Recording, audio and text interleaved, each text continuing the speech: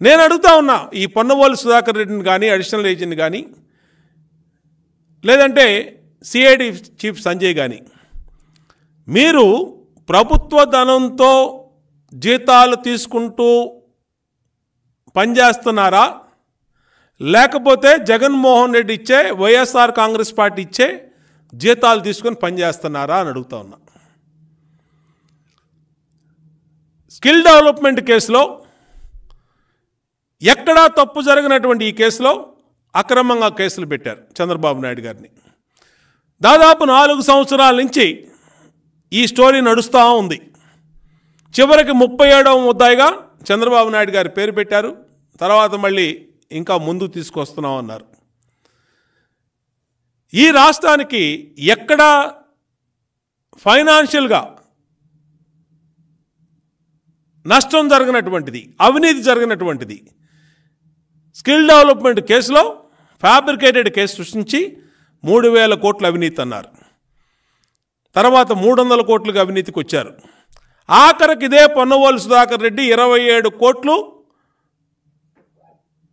Telugu Desam party అకౌంట్కి వచ్చినాయి బినామీ అకౌంట్లని అడుగుతాను వచ్చినాయని చెప్పారు.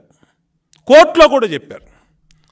స్కిల్ డెవలప్మెంట్ కేసులో ఇలాంటి అవాస్తవాలన్నింటిలో సీనియర్ అడ్వకేట్ కౌన్సిల్ కౌన్సిల్ని బయట నుంచి సుప్రీంకోర్టు నుంచి లా అడ్వకేట్స్ని కోట్ల రూపాయల ఫీజులు చెల్లించి తీసుకొచ్చి మళ్ళా ఇక్కడ అడిషనల్ ఏజీగా ఉన్నటువంటి పొనవోలు సుధాకర్ రెడ్డి వీళ్ళందరూ వాదనలు వినిపించినాక హైకోర్టు జస్టిస్ ఇచ్చినటువంటి తీర్పు మీద చంద్రబాబు నాయుడు గారికి ఇచ్చినటువంటి బెయిల్ మీద నీకు మాట్లాడే నైతిక అర్హత ఎక్కడుంది? పొన్నవోలు సుధాకర్ రెడ్డి అని అడుగుతా ఉన్నా. నీకు తీర్పు నచ్చకపోతే సుప్రీంకోర్టుకి ఎలాగ వెళ్తున్నావు?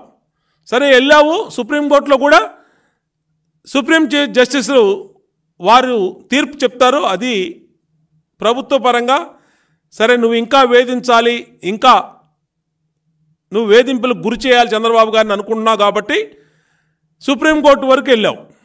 మళ్ళీ అప్పీల్కి వెళ్ళావు. ఇచ్చినటువంటి బెయిల్ మీద. సరే అది ప్రభుత్వ పరంగా న్యాయపరంగా చేసుకోవచ్చు. కానీ ఒక అడిషనల్ అడ్వకేట్ జనరల్గా ఉన్న పొన్నవోలు సుధాకర్ రెడ్డి తనకి జగన్మోహన్ రెడ్డికి లేదంటే సిఐడి చీఫ్ సంజయ్కి అనుకూలంగా తీర్పు రాలేదని ఒక హైకోర్టు జస్టిస్ని పట్టుకొని నోటికొచ్చినట్టు మాట్లాడతావా ఢిల్లీలో? నువ్వు అసలు అడిషనల్ అడ్వకేట్ జనరల్ అనుకుంటున్నావా? నువ్వు జగన్మోహన్ రెడ్డి పాలేరుగా పనిచేస్తున్నావా అని అడుగుతా ఉన్నా. జగన్మోహన్ రెడ్డి పాలేరుగా పనిచేస్తే రోజు వెళ్ళి జగన్మోహన్ రెడ్డి కాళ్ళు కడుగు. ఆయన కాళ్ళు కడిగి ఆ కాళ్ళు కడిగిన నీళ్ళని తల మీద పెట్టుకొని ఊరేగు. లేదంటే తాడేపల్లిలో బాత్రూములు కడుగు.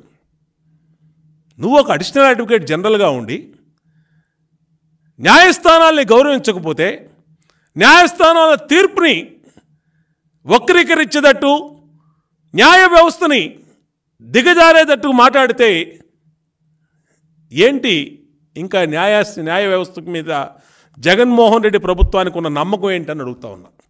అంటే నువ్వు చెప్పే అబద్ధాలన్నీ నువ్వు చెప్పే కట్టుకథలన్నింటినీ కోర్టులను నమ్మేసి కోర్టులు మీకు అనుకూలంగా ఇస్తే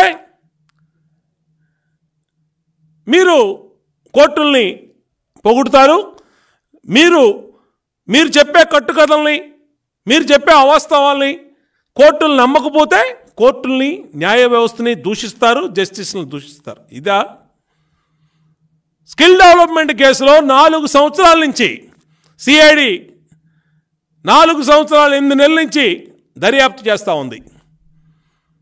ఇప్పటికీ CID chief Ponnavolu Sudhakar additional advocate general Ponnavolu Sudhakar Reddy circus company లాగా మూడు చోట్ల హైదరాబాదు అమరావతి ఢిల్లీలో దేశం మొత్తం ప్రెస్ మీట్లు పెడతా ఉన్నారు తుప్పెక్కని కోట్లు వేసుకుని దీంట్లో మీరు ఈ నాలుగు సంవత్సరాలు ఎనిమిది నెలలు జగన్మోహన్ రెడ్డి పరిపాలనలో పార్టీకి తెలుగుదేశం పార్టీకి నిధులు వచ్చినాయి చంద్రబాబు గారి ఆదేశాలతోనే అక్రమంగా నిధులు వచ్చినాయని చెప్పి చెప్పినటువంటి మీరు ఎక్కడైనా ఒక్క రూపాయిని పట్టుకోగలిగారా? ఒక్క రూపాయి హవాలా ద్వారా కానీ లేదంటే మరే ఇతర మార్గాల్లో కానీ తెలుగుదేశం పార్టీకి కానీ పార్టీ నాయకులకు కానీ ప్రివెంటివ్ ఆఫ్ కరప్షన్ కేసు పెట్టి తప్పుడు ఆధారాలు సృష్టించి ఇంకా ఆధారాలు మేము ఇప్పుడు తెస్తాం అప్పుడు తెస్తామని చెప్పి యాభై మూడు రోజుల జ్యుడిషియల్ రిమాండ్లో చంద్రబాబు నాయుడు గారిని నిర్బంధించి అటు నాలుగు సంవత్సరాలు ఎనిమిది నెలల పరిపాలనలో ఒక్క రూపాయి అవినీతి జరిగిందని ఎవిడెన్స్ని కానీ సాక్ష్యాధారాలను కానీ పట్టుకోలేకపోయిన అసమర్థులు జగన్మోహన్ రెడ్డి సిఐడి చీఫ్ సంజయ్ ఇదే మాట్లా మాట్లాడుతున్నటువంటి పొన్నబోలు సుధాకర్ రెడ్డి. ఎందుకంటే ఏమైనా జరిగితే కదా అన్యాయం? ఏమైనా అక్రమాలు జరిగితే కదా? ఏమైనా అవినీతి జరిగితే కదా? జగన్మోహన్ రెడ్డి మీద prevent of corruption CBI case పెట్టిందంటే ఆ రోజు నలభై మూడు వేల కోట్ల అవినీతి జరిగింది. నలభై మూడు వేల కోట్లు పట్టుకున్న అది prevent of corruption case. ED market value lakh కోట్లు జగన్మోహన్ రెడ్డి అవినీతి కేసులో వాల్యుయేషన్ వేసిందంటే అది అవినీతి కేసు. చంద్రబాబు నాయుడు గారి మీద పెట్టింది స్కిల్ డెవలప్మెంట్ తప్పుడు కేసు. ఇదే కాదు. ఫైబర్ నెట్ అన్నాడు ఇన్నర్ రింగ్ రోడ్ అన్నాడు శాండ్ అన్నాడు లిక్కర్ అన్నాడు అన్నిటిలో జగన్మోహన్ రెడ్డి మీద పెట్టబో పెట్టబోతున్న రాబోయే ప్రభుత్వంలో పెట్టబోతున్న కేసుల్ని ముందే ఇవాళ చంద్రబాబు నాయుడు గారి మీద అక్రమ కేసులు పెట్టి ఏదో సాధించాలి వేధించాలంటే ఎవడో భయపడు జగన్మోహన్ రెడ్డి. నువ్వు పెట్టే అక్రమ కేసుల మీద భయపడం. మేము ఏ తప్పు చేయలేదు. ఏ తప్పు చేయలేదు కాబట్టే నాలుగు సంవత్సరాలు ఎనిమిది నెలలు నువ్వు ఏమీ చేయలేకపోయావు చంద్రబాబు నాయుడు గారిని మమ్మల్ని. నీతివంతంగా నిజాయితీవంతంగా నిజాయితీగా రెండు వేల పద్నాలుగు రెండు వేల పంతొమ్మిది కాలంలో మేము ప్రభుత్వాన్ని పారదర్శకంగా అవినీతి రహితంగా నీతిగా నడిపించబట్టే నువ్వు ఏమీ చేయలేక నాలుగు సంవత్సరాల ఎనిమిది నెలల నీ పరిపాలన తర్వాత తప్పుడు కేసులు పెట్టి ఇవాళ వేధిస్తా ఉన్నావు. దానికి నీ భజన బ్యాచి నీ ప్రైవేట్ సైన్యంలాగా మారిన సిఐడి నువ్వు చెప్పే మాటలన్నింటినీ కోర్టులో వాదిచ్చే అడిషనల్ ఏజీ లాంటి వాళ్ళు పొన్నవోలు సుధాకర్ రెడ్డి లాంటి వాళ్ళు ఇవాళ తప్పుడు కేసులు పెట్టినా చరిత్రలో ధర్మం న్యాయం ఓడిపోయినటువంటి దాఖలాలు లేవు.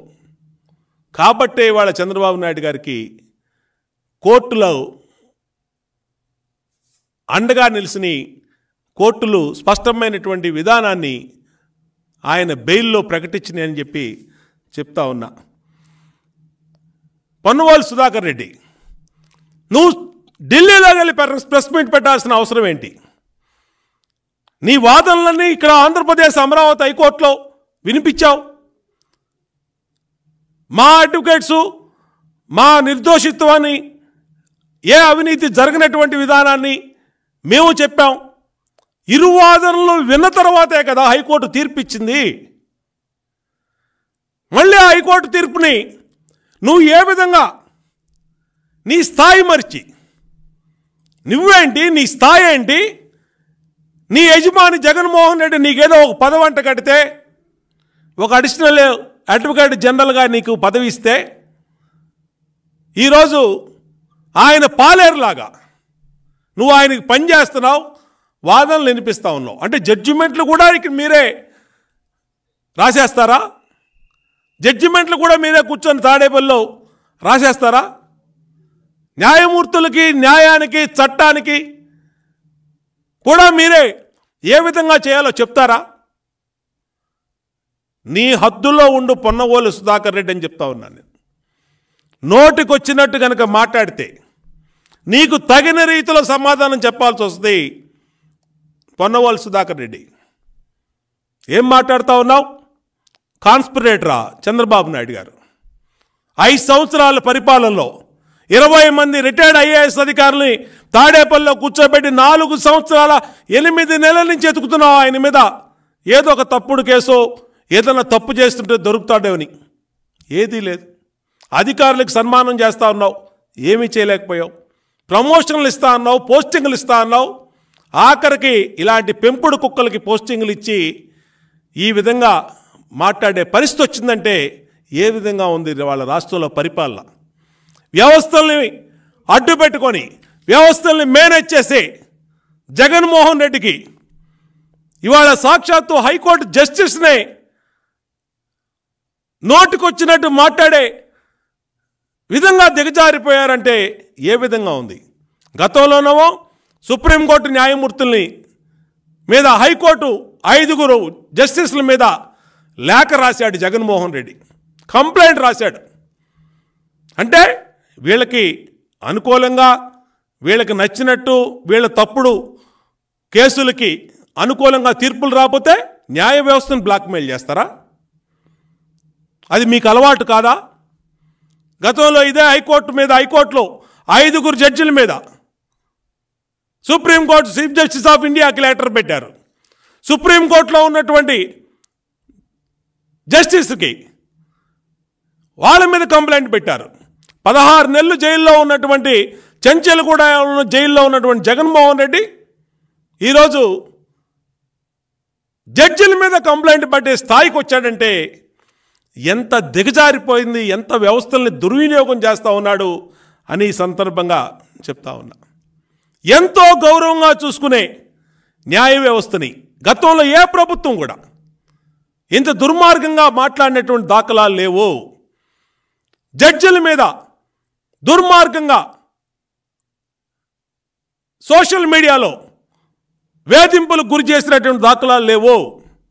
ఒక ముఖ్యమంత్రి భారతదేశ స్వతంత్రం వచ్చినటువంటి చరిత్రలో ఈ డెబ్బై సంవత్సరాల చరిత్రలో ఏ రోజు కూడా ఒక ముఖ్యమంత్రి ఐదుగురు హైకోర్టు జడ్జి జస్టిస్ మీద ఒక సుప్రీంకోర్టు జడ్జి మీద ఈ విధంగా అపాధులు కంప్లైంట్ రాసినటువంటి పరిస్థితి ఎప్పుడూ లేదు. అంటే న్యాయ వ్యవస్థను కూడా బ్లాక్మెయిల్ చేసి వీళ్ళ గుప్పెట్లో ఉంచుకోవాలి అని చూస్తూ ఉంది ఈ ప్రభుత్వం. ఖచ్చితంగా ఈ అన్నిటికి సమాధానం చెప్పాలి.